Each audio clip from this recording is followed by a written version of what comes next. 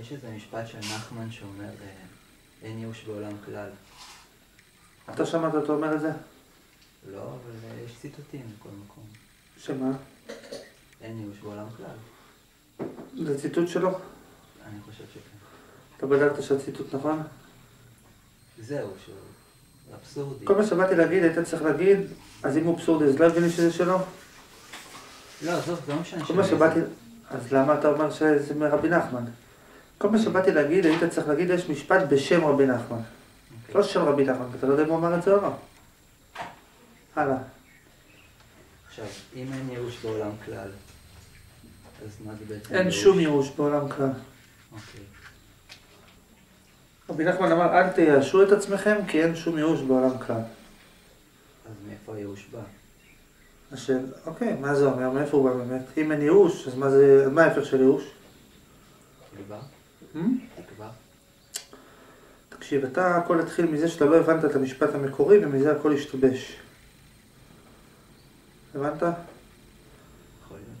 בוא נביא לך ליקוטי מוהר"ן, תקשיב רגע. חלק ב', אות קי"ב. בוא נראה. בוא נקרא לך מהספר, נראה מה כתוב. חלק ב'.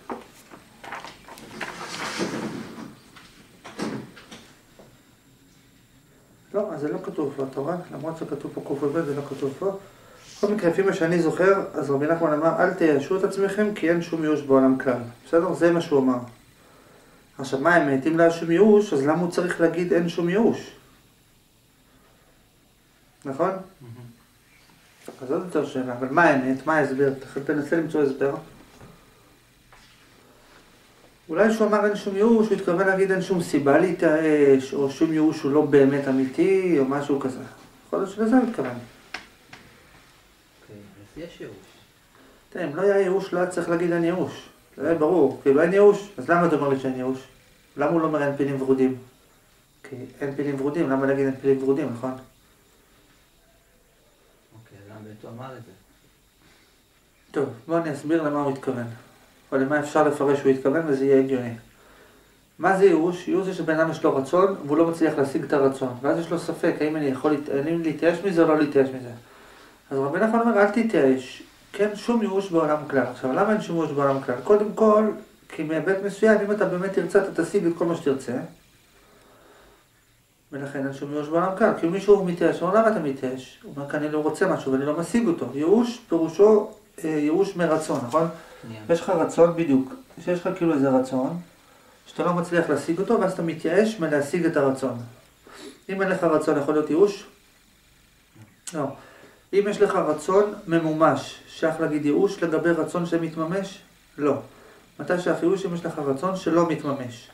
עכשיו, מה קורה במצב שיש לך רצון שלא מתממש? אז אתה יכול להרגיש מזה רע, אתה יכול להגיד אני אוותר על הרצון, אתה יכול להתייאש מזה שתשיג את הרצון, אוקיי?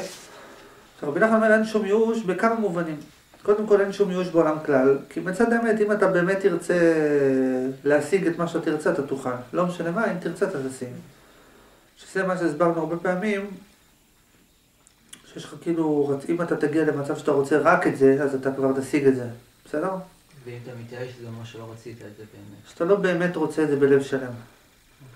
עכשיו, זה אחד. עכשיו, שתיים, שרבי נחמן אמר אין שום ייאוש, כאילו בן אדם מתייאש. רבי נחמן אומר, למה אתה מתייאש? הוא אומר, אני לא יכול להשיג את המטרה שלי. ואז רבי נחמן כאילו אומר לו, תקשיב, מה, איזה מטרה אתה לא יכול להשיג? הוא אומר, אני לא יכול להשיג את הבחורה נגיד. אז הוא אומר לו, ואתה מתייאש מזה? הוא אומר לו, כן, לא יכול להשיג. הוא אומר לו, ולמה אתה רוצה את הבחורה? ואם אתה תעשה למה, למה, למה, אתה תראה שאת מה שאתה באמת רוצה, אתה יכול להשיג. אז למה אתה מתייאש? אני אומר, "אה, אני מתייאש, אין לי סיכוי להשיג את מה שאני רוצה. אבל אתה בכלל לא רוצה את זה, מה אתה מתייאש? אתה רוצה משהו אחר בכלל. בכל מקרה, שרבי נחמן אמר אין שום ייאוש, הכוונה היא אה, שבן אדם נמצא בתופעה של ייאוש, רבי נחמן אמר, כאילו אין שום הצדקה לייאוש, אתה לא באמת אמור להיות בייאוש. אל תתייאש כי אתה לא אמור להיות בייאוש. אתה יכול אה, להתגבר על זה, כי זה לא באמת מחויב, כי אתה לא באמת חייב לרצות את זה, כי אם אתה באמת תרצה את זה, אתה תשיג את זה. למה אנשים באמת מתייאשים? כי הם חושבים שיש להם רצון שמוגדר מחויב, והם חושבים שמחויב שהם לא יכולים להשיג אותו. הבנת? כי הם חושבים שיש להם רצון מוגדר מחויב. אם לא היה להם שום רצון מוגדר מחויב, אין, לא שייך ייאוש. אם אין לך רצון מוגדר ספציפי שאתה רוצה, אז לא שייך אה, להתייאש, נכון? יפה, אז אם יש לך רצון ספציפי שאתה רוצה אותו, ואתה חושב שאתה חייב להשיג אותו, ואתה חושב שבטוח שלא תשיג אותו, אז אתה מתייאש. נכון? זהו. עכשיו, כשרבי נחמן אמר אין שום ייאוש בעולם כלל, הוא התכוון לעוד דבר. רבי נחמן התכוון לזה שכל אחד, שמח... יש לזה עוד משמעות נוספת, שהיא כלולה בקודמים, אבל זה בעוד היבט, שכל אחד שמחפש את עצמו, יש שלב שהוא מגיע אליו, שבו הוא רוצה משהו שהוא בלתי אפשרי להשיג. כאילו אם אתה תבדוק מה אתה באמת רוצה, בסופו של דבר אתה תגלה שאתה רוצה דבר והיפוכו, כי אתה לא יכול לרצות את אחד מהצדדים, כי בכל, כי בכל אחד מהם יש חיסרון. אתה הבנת מה אמרת עכשיו? מה הבנת? שכל אחד יש חיסרון. ולכן אם אתה תבדוק מה אתה באמת רוצה, מה אתה תגלה? רוצה גם את ההפך. נגיד שבן אדם יושב עם עצמו ושואל את עצמו, טוב, מה אני רוצה, מה אני רוצה? הוא יראה שהוא לא מצליח, מה אני רוצה ברמה של מה אני רוצה שאם יהיה לי אותו אני אהיה מרוצה במאה אחוז, הוא יראה שאין דבר כזה. למה אין דבר כזה? בכל, כי בכל דבר יש חיסרון. ואז שואל אותו, טוב, אז מה אני רוצה? אז אני רוצה את היתרונות של כל הצדדים בבת אחת. אבל אתה לא יכול לקבל את היתרון של הדרום ושל הצפון בבת אחת. אבל זה מה שאתה רוצה. עכשיו, אם אתה תגלה יום אחד שמה שאתה רוצה הוא דבר והיפוכו, אז אתה יכול להתייאש, להגיד, אה, אז הלך עליי. כאילו, כי גיליתי שמה שאני רוצה זה הדבר היחיד שאי אפשר להשיג אותו. רבי נחמן מחדש לך, אל תתייאש, כי גם את זה אפשר להשיג. למה גם את זה אפשר להשיג? בדיוק כמו מה שאמרתי קודם, מאותו שתי סיבות. קודם כל, כי לא בטוח שאתה רוצה את זה בכלל, כי לא בטוח שיש הבדל בין יש להן.